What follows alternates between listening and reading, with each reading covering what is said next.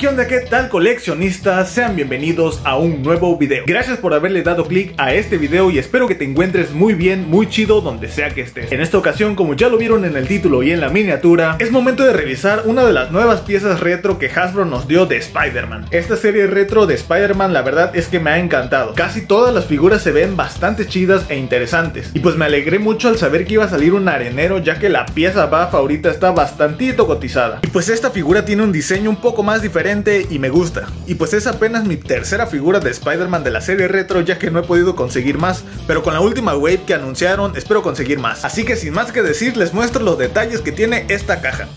En la parte de enfrente, además de la figura, vemos el logo de la serie de Spider-Man y el logo de Marvel Comics. A un lado vemos una ilustración del personaje junto a su nombre en cinco idiomas diferentes. Masa de arena, Sankeule, qué rayos. En la parte de atrás vemos nuevamente el logo de Spider-Man y una ilustración que nos indica cómo cambiar los accesorios, además de la misma ilustración del personaje, a un lado de la descripción que nos dice, una dosis masiva de radiación une el cuerpo del criminal William Baker a la arena, creando una gran amenaza para el hombre araña. Ahora sí, es momento de sacar esta figura del blister para revisar sus detalles. Y bien amigos, ya tenemos aquí afuera del blister la figura de Sandman y la verdad es que se ve bastante chida. El acabado de pintura me gusta bastante. Bueno, no es una figura con muchos detalles de pintura, pero los pocos que tiene se ven bastante bien. Es icónico ver en él la camisa con rayas verdes y considero que lo plasmaron bastante bien. Cabe señalar que en parte este es un molde nuevo, ya que el torso, los brazos, la cabeza son nuevos, pues no tenemos los puntos de articulaciones visibles. Solamente las piernas sí son reutilizables de los moldes viejos, ya que sí se ven los puntos de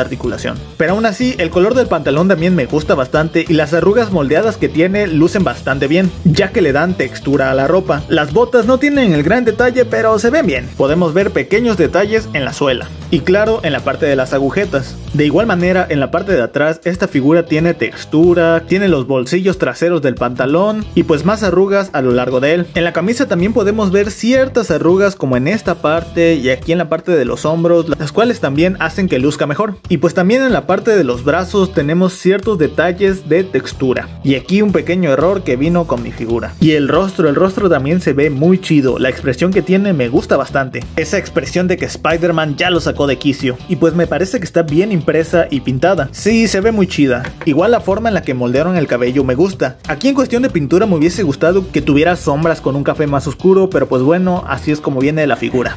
En general, como les digo, no es una figura exageradamente detallada, sin embargo los pocos detalles que tienen la hacen lucir bastante y me parece una genial figura de Sandman.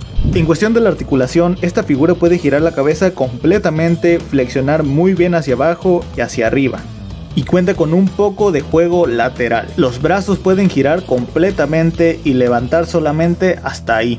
Articulación en el bíceps que nos permite girar por completo el brazo y dos puntos de articulación en codos. Las manos pueden girar completamente y flexionar hacia abajo, hacia arriba y hacia los lados. En cuestión del torso puede flexionar hacia adelante hasta ahí solamente y hacia atrás bastante bien y articulación en la cadera que nos permite girar por completo la pieza. Las piernas las puede levantar bastante alto como pueden observar y abrirse de esta manera. Articulación en el muslo que nos permite girar por completo la pierna y dos puntos de articulación en rodillas. Y finalmente articulación en el pie que nos permite flexionar hacia atrás, hacia adelante y giro completo del pie. En cuestión de accesorios es de lo que más me gusta de esta pieza ya que viene con unos muy buenos. Claro, no podían faltar los cambios de mano con efecto de arena, los cuales me parecen muy ingeniosos ya que esta es parte del brazo y pues cubre toda esta parte de la figura. Y pues solo es quitarle la mano, introducir este efecto y ya así es como queda. Me costó un poquito de trabajo poner este, pero la verdad es que se le ven muy chidos y pues obviamente así lo voy a dejar con esos cambios de manos. Y también tiene este cambio de cabeza, el cual tiene este orificio con una función muy chida y muy ingeniosa para introducir la mano de Spider-Man y simular que le acaba de atravesar la cabeza. Me parece un gran detalle. Aunque como muchos quizás hubiésemos preferido que esta expresión la tuviera aquí, ya que siento que va más con ella, pero pues bueno, aún así se ven muy geniales. Y pues así es como se ve con el cambio de cabeza. La verdad son muy buenos accesorios y me gustan bastante. También considero que el cambio de manos con efecto de arena está bastante detallado ya que sí simula ser arena. Bueno, con unos toques de pintura siento que pudiese mejorar, pero en cuestión de textura se ve bastante chido. Todos los accesorios me encantaron, tanto esta bola con picos, el icónico puño y este genial cambio de cabeza. Se ven bastante chidos. En cuestión de la altura, esta figura alcanza prácticamente los 16 centímetros y medio. A continuación compararé su estatura con otras figuras Marvel Legends. Iniciando a un lado de uno de sus compañeros de equipo, otro siniestro, esta figura de Electro de la serie retro de Spider-Man, el cual obviamente es más alto por la máscara. A un lado de otro compañero siniestro, esta figura de Misterio de la serie retro también, la cual es más pequeña que la figura de Sandman. Ligeramente más pequeña, de esta figura ya hay una reseña en el canal que te estaré dejando por aquí arriba por si te interesa ir a verla. De momento ya tengo 3 de los 6 siniestros originales. A un lado de la última figura de Spider-Man que nos dieron, este Spider-Man con traje integrado de la Wave de No Way Home, la cual es más pequeña que la figura de Sandman, bastante más pequeña. De esta figura también hay una reseña en el canal que te estaré dejando en la parte de arriba. Y finalmente, a un lado de esta figura de Thanos de Infinity Gauntlet, la cual vino en un empaque deluxe, la cual claramente es más alta que la figura de Sandman. Déjenme decirles que ese Sandman es de bastantito buen tamaño. A continuación, y como es costumbre, les dejaré unas tomas de la figura con diferentes ángulos y con sus respectivos accesorios para que la aprecien a detalle.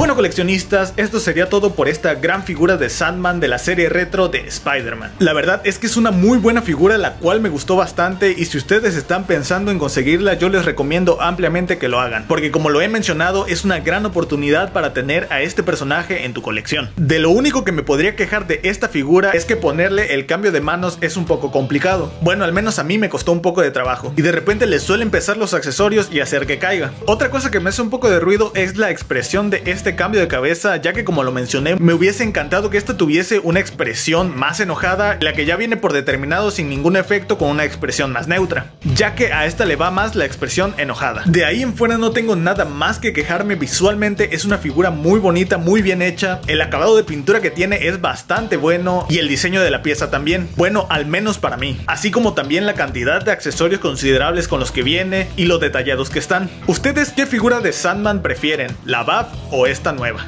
Yo no tengo la buff, pero esta me parece una buena opción del arenero. Esta figura aún se encuentra disponible en Amazon, te dejo el link en la descripción por si te interesa. Muchas gracias por haber llegado hasta esta parte del video, si te gustó o te sirvió te agradecería que me ayudaras regalándome un buen like. Te invito a suscribirte y activar la campana de notificaciones para que no te pierdas ninguno de los siguientes videos. Espero poder conseguir más figuras de esta serie retro de Spider-Man ya que la mayoría están muy chidas y por lo menos ya este año completar a los 6 siniestros originales. Gracias por haber llegado hasta esta parte del video, espero que te encuentres muy bien, muy chido y nos vemos en un siguiente video. Bye.